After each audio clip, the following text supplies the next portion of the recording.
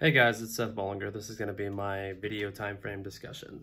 So what I have is, um, as I was doing this assignment, I noticed that the major differences between pre and post MTV were that the music that was made before MTV was much more low budget. You know, there was just a little bit of lighting, um, lighting effects, strobe effects, kind of fading in, fading out, different things like that, maybe the costumes, and sometimes they would have maybe one or two venues. So that's kind of what I noticed before MTV. So after MTV appeared to be successful, I think that the artists began to take more risks.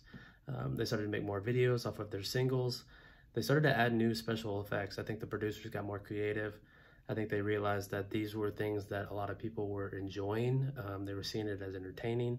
So they really wanted to get their artists out there. They really wanted to get their labels out there. So the only way to do that was to push it to the next level and at the same time technology was booming so they just jumped on they just jumped on that train.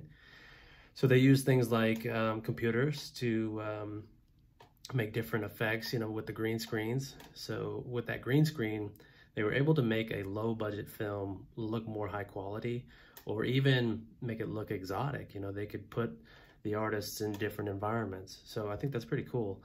So the thing about MTV that kind of stood out to me was that MTV put so much spotlight on artists and put so much spotlight on on different bands and, and different genres of music that what they started to wear and what they were doing in these videos, all those things started to become more important to the viewers.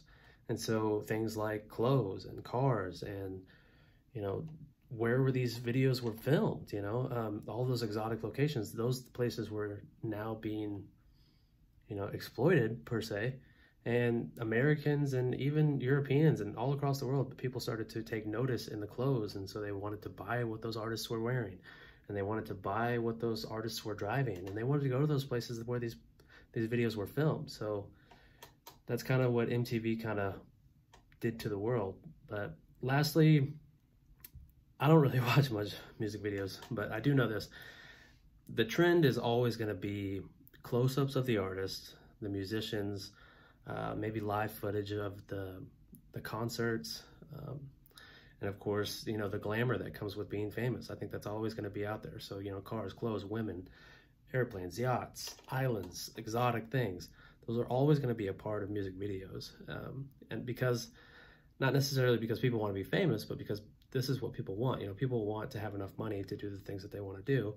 And that's what a lot of these musicians portray that they can do. So whether they can or can't, you know, that's that's up for us to decipher. But I do think that these things, you know, these materialistic items, unfortunately, will always be a part of the music videos that we watch. Thanks.